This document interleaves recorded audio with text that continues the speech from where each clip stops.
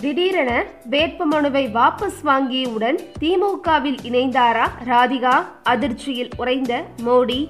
அதாவது தமிழகத்தில் லோக்சபா தேர்தலுக்காக வேட்புமனு தாக்கல் வாக்கு சேகரிப்பு தேர்தல் பிரச்சாரம் என களைகட்டி வருகிறது. தமிழகத்தில் வரும் பத்தொன்பதாம் தேதி லோக்சபா தேர்தல் நடைபெறுகிறது. அரசியல் கட்சிகளில் உள்கட்சி பூசல் இருக்கத்தான் செய்யும். அந்த வகையில் தற்போது விருதுநகர் பாஜகவில் உள்ள உட்கட்சி பூசல் வெளியாகி உள்ளது. விருதுநகர் பாஜக சார்பில் வேட்பாளராக ராதிகா சரத்குமாருக்கு வாய்ப்பு கொடுக்கப்பட்டது. அவரது கணவர் சரத்குமார் தனது கட்சியான அகில இந்திய சமத்துவ மக்கள் கட்சியை கலைத்துவிட்டு நிர்வாகிகளுடன் பாஜகவில் இணைந்தார். இதனைத் தொடர்ந்துதான் ராதிகாவுக்கு சீட் வழங்கப்பட்டதாக சொல்லப்படுகிறது.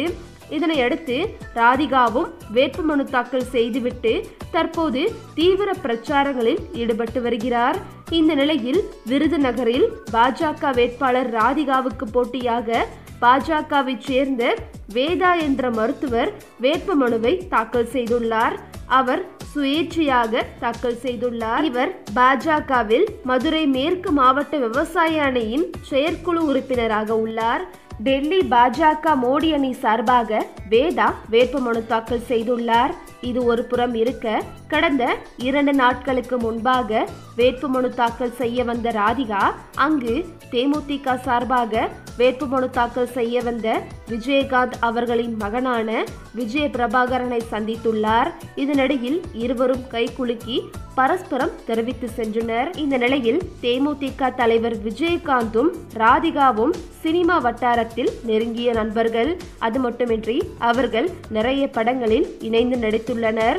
இதனால் அவருக்கு ஏதாவது ஒன்று செய்ய வேண்டும் என்று நினைத்து அவர் ஏற்கனவே வேட்புமனு தாக்கலை வாபஸ் பெற வேண்டும் என்றும் விஜய பிரபாகரனை எதிர்த்து போட்டியிடுவதில் தனக்கு உடன்பாடு இல்லை என்று தெரிவித்து வந்த நிலையில் ராதிகா தற்போது இப்படி உட்கட்சி பூசல் நிலவி வரும் விருதுநகர் தொகுதியில் எதற்காக நான் போட்டியிட வேண்டும் என்று நினைத்து தற்போது வேட்புமனுவை வாபஸ் வாங்கிவிட்டு திமுகவில் இணைய முடிவெடுத்துள்ளதாக தகவல்கள் வெளிவந்துள்ளது. இந்த செய்தி பாஜகவினரிடையே பெரும் அதிர்ச்சியை ஏற்படுத்தியுள்ளது. ஓகே விவோஸ் இதை பற்றி நீங்கள் என்ன நினைக்கிறீங்கன்னு உங்களுடைய கருத்துக்களை கமெண்ட்ல தெரிவிங்க. இந்த வீடியோ உங்களுக்கு பிடிச்சிருந்தா லைக் பண்ணுங்க ஷேர் பண்ணுங்க. மறக்காம நம்ம சேனலை சப்ஸ்கிரைப் பண்ணிக்கோங்க.